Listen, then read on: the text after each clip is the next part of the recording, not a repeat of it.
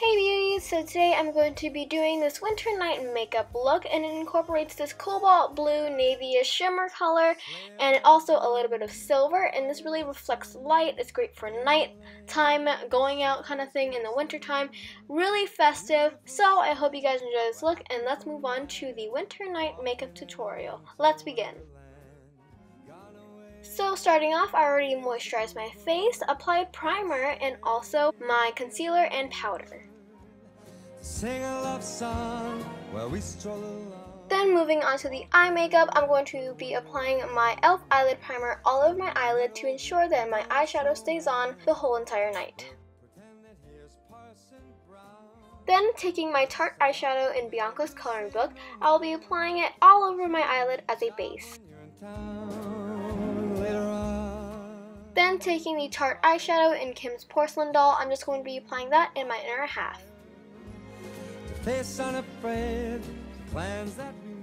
Then taking the color Staci's Charm Bracelet, I'm just going to be applying this in the inner half eye corner area just to brighten it up and add an accent color or tone right over where we put the light blue color. And the light blue was just kind of like a base for this eyeshadow.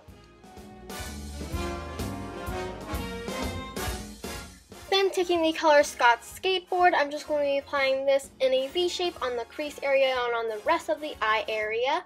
And we're going to create a V shape so it looks a little more winged out look kind of eyeshadow look. And of course clean it up if you need more precision.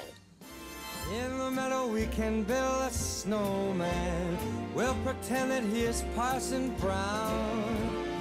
We'll say, are you ready? We'll say, no man. But you can do the job when you're in town later on.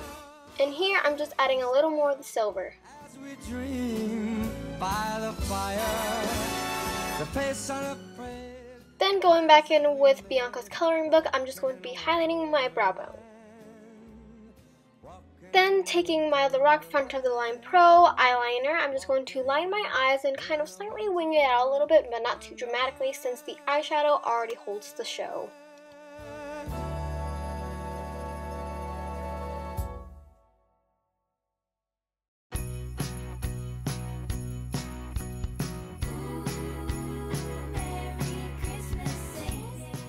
Then perk up your lashes and get them ready for mascara.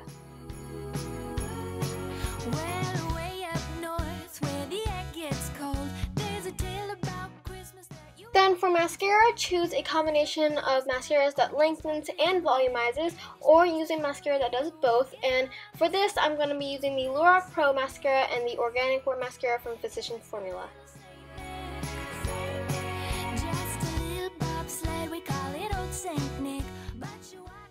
Using the Great Lash Clear Mascara, I'm just going to be applying it to my brows to make sure the hairs stay in place.